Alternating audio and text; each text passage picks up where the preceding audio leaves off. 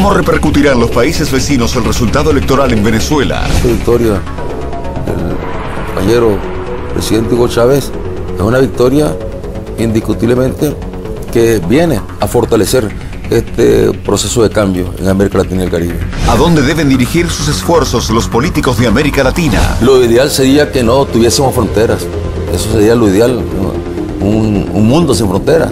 Daniel Ortega, presidente de Nicaragua, da su visión sobre estos y otros temas de la política internacional en una entrevista exclusiva a RT.